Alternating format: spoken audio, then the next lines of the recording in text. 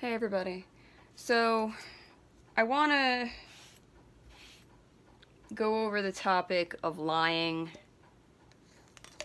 again because the Lord, the Holy Spirit just keeps highlighting this to me and I'm going to start giving some examples um, so that people can you know, comprehend more easily. Um,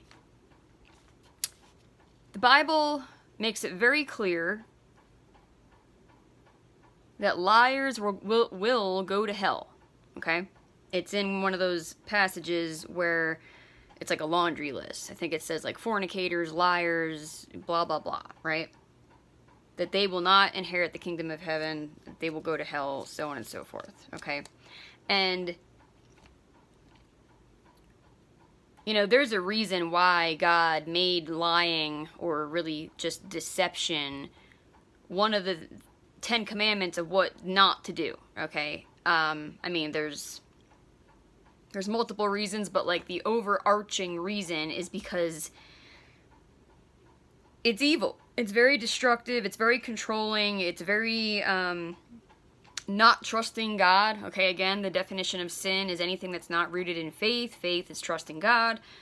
Okay? Um, and when you lie, it's because you're not trusting God. You're trying to control whatever it is. You're trying to control a situation. You're trying to control someone's perception. Whatever it is. Okay?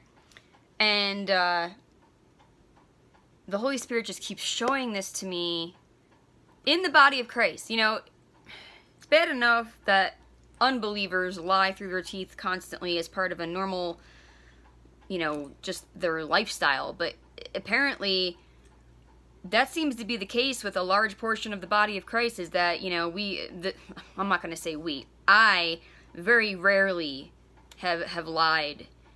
Um, I'm just not, a, I'm, you know, again, I'm not going to say I've never told a lie, but like overall, like, it's it's not my nature and I make it a point to not lie and I'm gonna give some examples um, but uh, you know we are supposed to be separate. We are supposed to stand out. We are supposed to be separate. We are supposed to not conform to the ways of the world as scripture says okay um, it also says in scripture that to be friends with the world, which basically means conforming to the world's ways, that you are at enmity with God. Enmity means you're basically enemies with God, okay?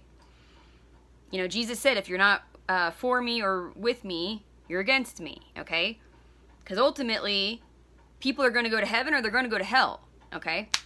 Um, yes, in life there there's a lot of you know gray area type things, but but there's also many things where it's either black or it's white. It's either good or it's evil. You know.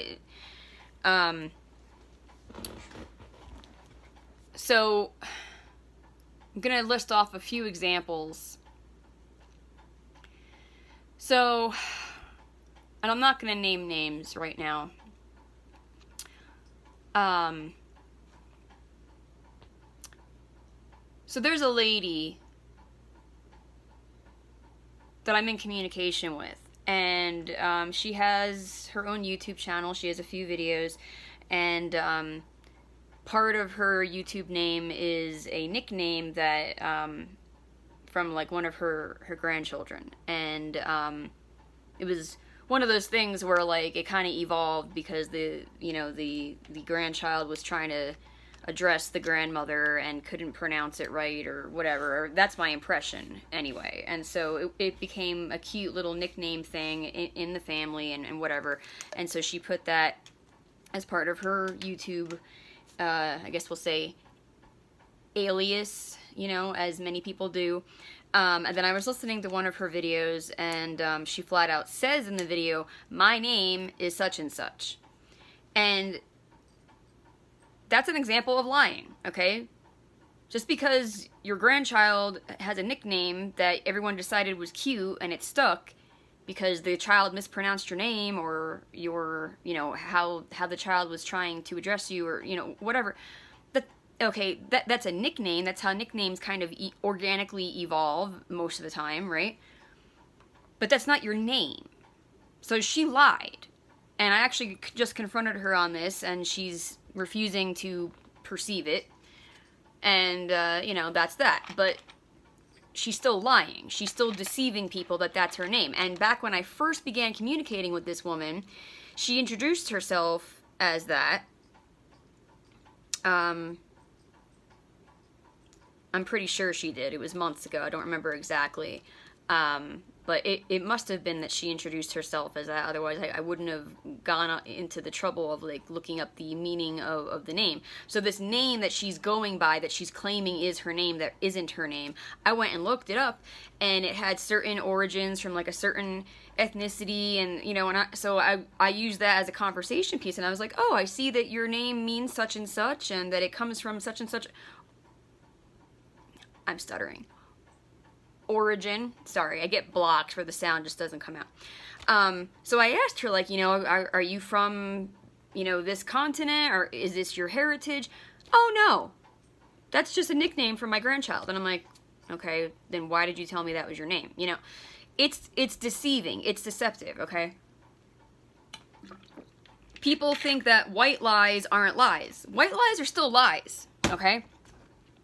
Um, another example again, I'm not going to name names right now, but there's someone um, in the YouTube community, and they were talking about, you know, this whole mask nonsense and all that, and um, and he was saying how, you know, he uh, that he was telling people that he had asthma, or he was telling his viewers to tell people that they had asthma, or something along those lines, where he was basically influencing people of like, hey, this is how you can get out of having to wear wear the mask or whatever. Um, now, my impression of this person, I assume that they don't have asthma. I could be wrong. I don't know them personally. You know, if they do, then then they weren't lying. But if you're telling people to say this just for that sake, then you're still being a ungodly influence and telling people to lie. Um, but that's a lie, okay? Like, a lie is a lie is a lie is a lie, okay?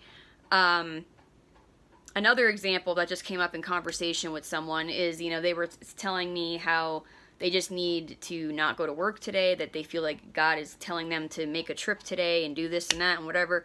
And it kind of came up in conversation about, like, you know, um, calling out of, of, of work and, and whatever. And, um, you know, whenever I've needed what, what I would call like a mental health day or like a spiritual mental health day or, or whatever it is, where there's nothing physically really wrong with me, um, you know, I have made sure to pick my words, to phrase my words very carefully so that I'm not lying. You know, if you have nothing physically wrong with your body and you call out of work and say, oh, quote unquote, I'm sick, you're lying. Okay? That's lying. Um, I think recently, I'm just remembering this now, I was stating an example of someone else on YouTube, and they were talking about calling out of work and claiming that you had a flat tire when you didn't have a flat tire. If you're a Christian, why are you lying like that okay? Like why is the why are so many people that who, who claim to be christian who claim to be born again who claim to have the holy spirit why is everyone lying? Stop lying okay? Like for your own sake okay? Bible says all liars go to he hell, okay? And I'm not here to condemn you. It's not my job to condemn you. On judgment day, we will all stand before Christ and and and that'll be that, okay? But I'm here to admonish you towards righteousness, toward repentance, toward reform. This habit, this lifestyle habit that everybody has of lying has to come to an end, okay? It is not of God. It is not godly. It is not righteous, and it's a slippery slope into other things. Because then, if you're used to telling white lies, then then that can turn into oh well you know if i just take a little bit of my roommate's peanut butter without them knowing without their permission that's not really stealing like my landlord did to me months ago okay um sin leads to sin uh, uh, thank you holy spirit there's a verse in the new testament um, I think it says something to the effect of sin gives birth to death, right? Sin leads to sin. Sin leads to more sin. Sin leads to death. sin is death, okay? Like, and ultimately, going to hell is eternal death, okay? Like, it just, it just disgusts me and it amazes me how people call themselves Christians and they lie and then even when someone confronts them about it they still it's like they they feel no conviction and that to me is a huge red flag like that tells me that I can't trust you spiritually speaking because either you're not who you claim to be, a born again Christian filled with the Holy Spirit, or you've hardened your heart, which I mean still makes me question whether you really have the Holy Spirit. Um, it just how how are born again supposed born again Christians not convicted about lying? Okay, when you become born again, what basically happens is the Holy Spirit works within you and slowly, gradually convicts you more and more and more and more and more and more and more of all the different areas of sin in your life. And people who claim to be born again Christians, claim to be seasoned born again Christians, this is my nail file. um, like this woman I'm talking to, you know. Um, how is it that you're not convicted of lying? And then when another fellow Christian confronts you about it, you still refuse to, you know, admit it. Like, see it and admit it and repent of it.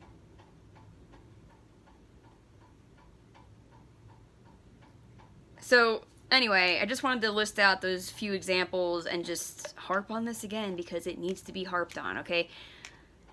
Lying is still lying. It doesn't matter if it's a white lie. There's no such thing as a white lie. Lie is a lie is a lie is a lie. Deception is deception is deception. And deception and lying are evil.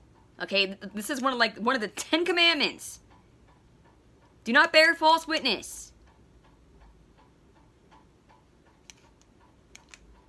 This is like Sunday School 101, guys, okay? I don't know what else to say. It's just ridiculous. I bless you all with the conviction of the Holy Spirit in Jesus' name.